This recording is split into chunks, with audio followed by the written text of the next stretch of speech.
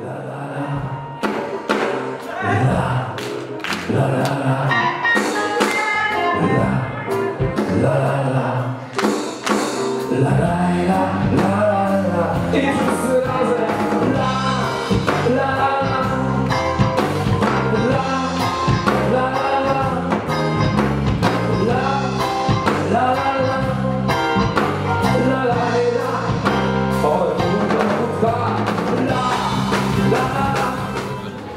Zapraszamy, jak ktoś chce wylicytować, chce mieć wiersz napisany dla niego i zapłacić mnóstwo pieniędzy, to niech przychodzi na koncerty. Tomasz Mars, Polska.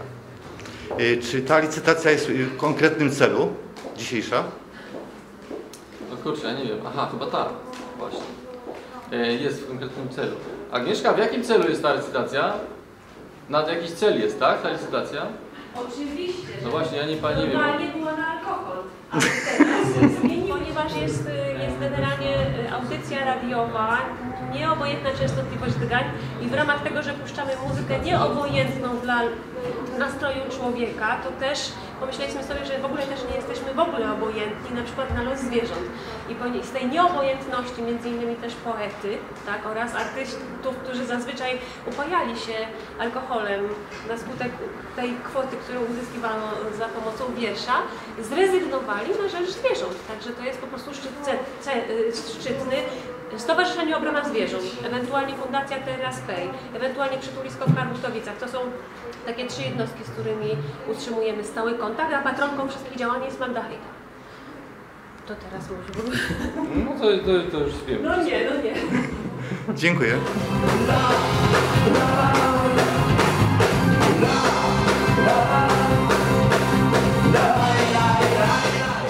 Pierwsze rzędy na 20, ale tamte z tyłu na 40, to tak od 30 zacznijmy. Cena wywoławcza, proszę Państwa, 30 zł. To pytanie najtrudniejsze zawsze dla licytatora. Kto da więcej? Proszę bardzo, rozpoczynamy. 30 zł. Kto da więcej? Czekam na propozycję. Poeta napisze specjalny wiersz na zamówienie dla kogoś z Państwa. Czekam na propozycję. 30 zł. Proszę. Więcej światła, poproszę, tak? O Jezu, nie aż tyle. Dziękuję, proszę. Licytować. 40. Brawo, proszę Pana. Dziękuję bardzo. 40 zł po raz pierwszy dla Pana. 40 zł po raz drugi dla Pana. 40 zł po raz 50. Ten sam pan nie? Przepraszam, że Kaskadzie. 70 dla pana po raz pierwszy, 70 dla pana po raz drugi, 70 zł dla szanownego pana po raz 80 dla pana po raz pierwszy. 209 po raz pierwszy, 209 po raz drugi, 209 po raz... 220 po raz pierwszy, 220 po raz drugi, 220 po raz trzeci.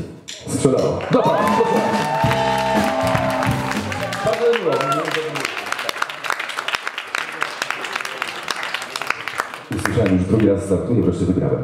Dobrze, dobrze. Witamy pana, proszę nam się przedstawić. Ireneusz. Bardzo dobrze. Panie Ireneusz. O, rodzina przyjechała, panie Ireneusz. Pokaźna sytuacja.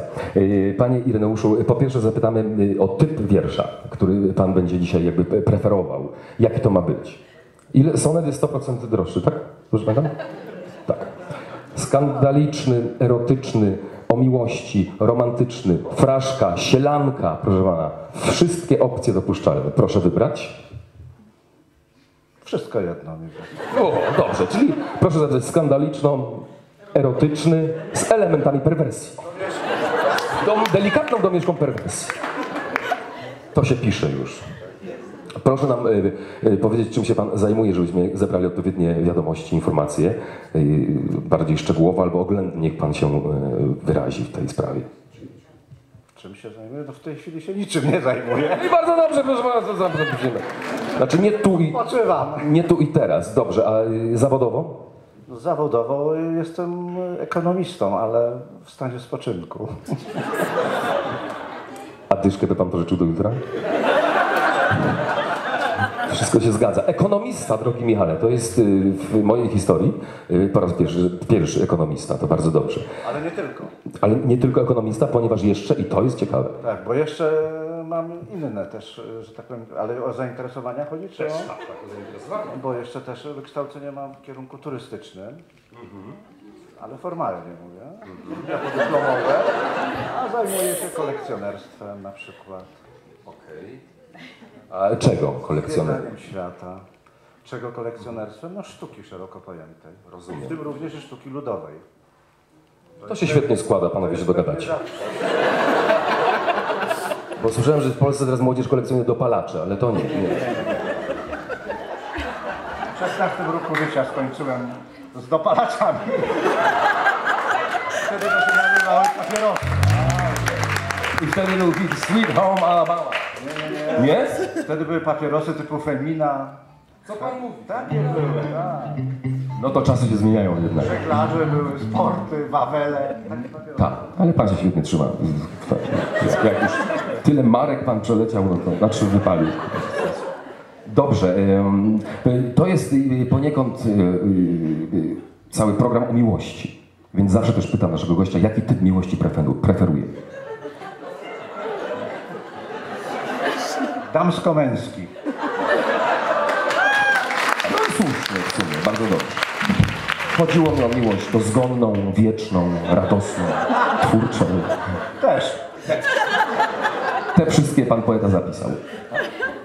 Dobrze. Skoro podróże, to które em, kraje pan lubi najbardziej? No latem ciepłe. A zimą narty. Czy konkretnie mam wymieniać kraje? No, no nie wiem, od Egiptu przez Tunezję, nie wiem, Rodos, Wyspy Greckie, Turcja, Hiszpania. O. Takie kraje. Starczy, bo my tu siedzimy całe życie w Krakowie. Nie spędzać w kompleksie. Jest tak. Dla kogo wiesz? Y, I wreszcie, dla kogo będzie pisany wiersz dzisiaj? Komu pan dedykuje? Dla siebie, dla mnie, dla koleżanki Chrzanowskiej, nie wybiera. Może dla żony. Dla żony, która ma imię. Barbara. Pozdrawiamy panią Barbarę, Ale jej tu nie ma. ale jesteśmy na antenie.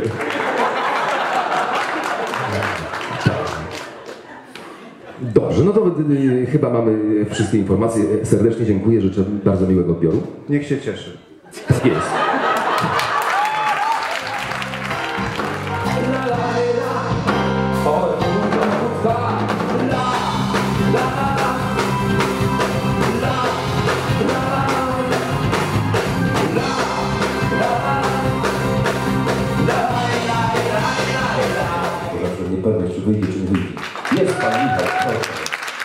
I się mówiłeś? I pięknie. Zobaczymy. Nie wiem, bo jeszcze na- nawet nie zdążyłem go prze, przeczytać. Na razie go tylko przepisałem.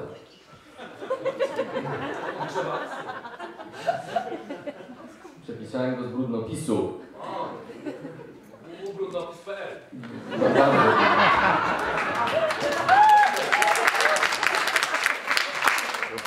Nie, EU. No dobrze.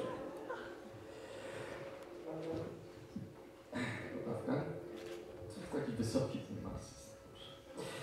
Ireneusz ogromnie się stara, żeby żona imieniem Barbara usłyszała przez radio w Krakowie to, co dzisiaj o sobie nam powie.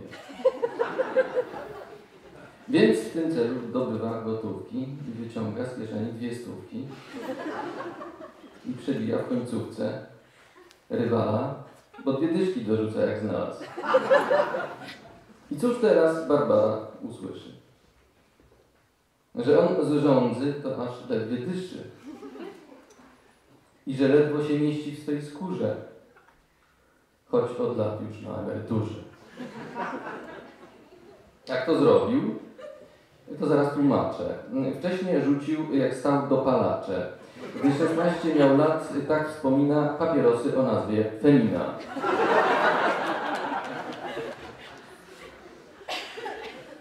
Że z zawodu był ekonomistą, to wyciągnął ciut szmal na czysto, podróżuje.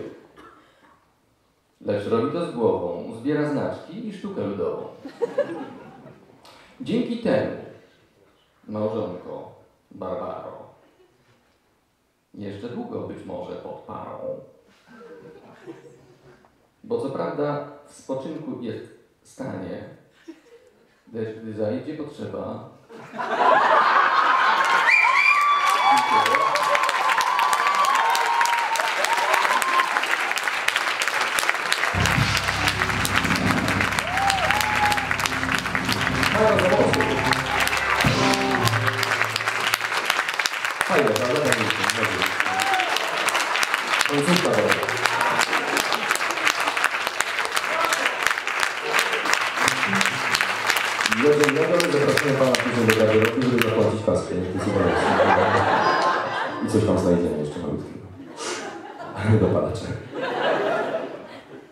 Proszę Państwa, no i, i, tak to było, już mówiłem na antenie Radia Kraków 8 razy, jak się zaczęła piosenka Męski Burdel, y, nie będę tego powtarzał dzisiaj.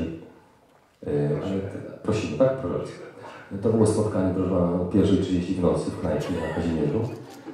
I stwierdzono, kobiety stwierdziły, że mężczyzna w każdej chwili może udać się do przybytku rozkoszy. Gdziekolwiek. www.przybytrozkoszy.pl Kobiety nie mają takiej możliwości, jak się okazuje.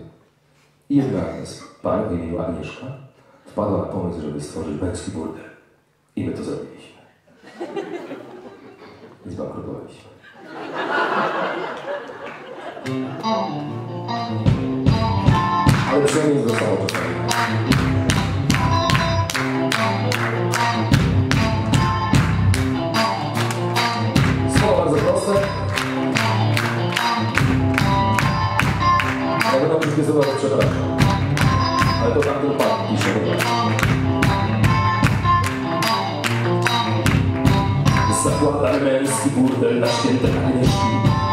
Będą kurde bajzel i zamieszki Zakładam męski burdel na święte Agnieszki Będzie skandal, będą kurde bajzel i Zamieszki